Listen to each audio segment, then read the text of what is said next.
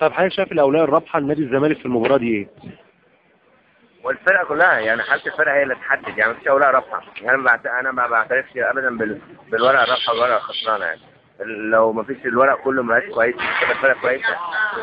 ده أنا شايف إن يعني شيكابالا مش هيبقى كويس إلا لو عبد الواحد وفتح الله كانوا كويسين يعني.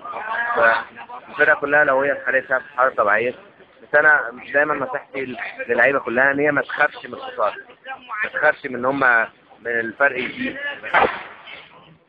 طب بس كل فريق بيبقى فيه يعني نجم أو اتنين بيفرقوا معاه. يعني الزمالك عنده حسين ياسر شيكابالا. معاك برضو الموضوع ده غير مقتنع بيه. طبعا وشيكابالا لعيبة كبار بس بس إحنا بنقول فريق ما بنقولش لعبة فردية. معايا؟ فشيكابالا وحسين ياسر لعيبة كبار وزي الفل. انما إنما دول يعني لازم آه آه طبعا طبعا طبعا. طب بالنسبة لعبد الواحد تقييم أداء تقييم اداؤه لحضرتك في الفترة اللي فاتت دي إيه؟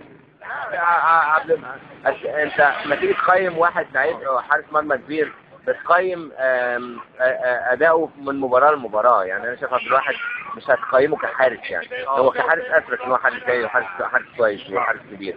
إنما تقييم أداؤه أنا شايف إن هو أداؤه جيد جدا يعني وبعدين وارد جدا بعض الاوقات بعض الأوقات الأخطاء.